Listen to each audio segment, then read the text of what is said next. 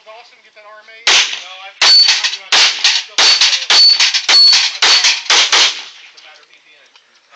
I've got Oh, Teddy.